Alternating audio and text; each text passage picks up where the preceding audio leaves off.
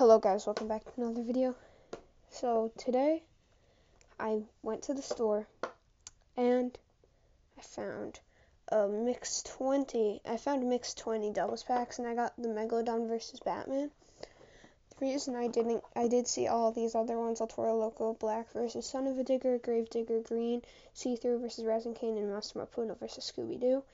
But the reason I didn't buy them is I am saving um money to buy tickets to the Monster Jam World Finals, and I but I have to buy a ticket for I have to buy two tickets and I have to pay to travel there and everything. So like I'm trying to save up my money right now. So yeah, but I got Megalodon versus Batman. Really mostly just for the Megalodon. I don't I have a, uh, the Batman. I'm gonna go get my Batman. I'm pretty sure it's exactly the same.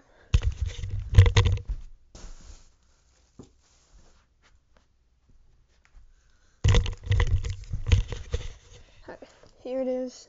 Here's my Batman. Well, I'll just unbox this now.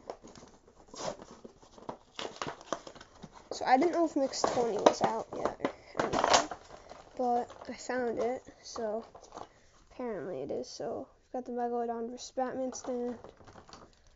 Let's get all this packaging out of the way. So we're going to start with Batman. So here's that one. This is the new one, and this is my old one. So I don't really see any differences.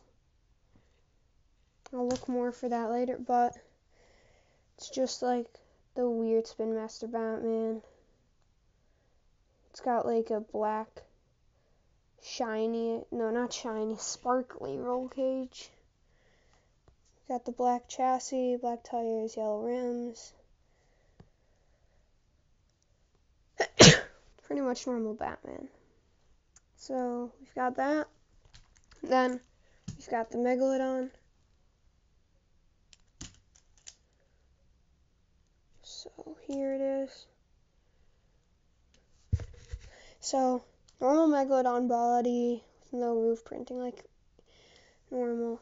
It's normal Megalodon body.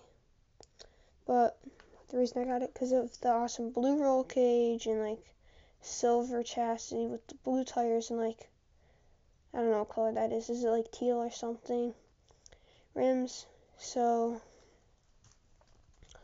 I'm really excited to be getting these two trucks. Make sure to like the video and subscribe so I can get to 400 subscribers. Goodbye.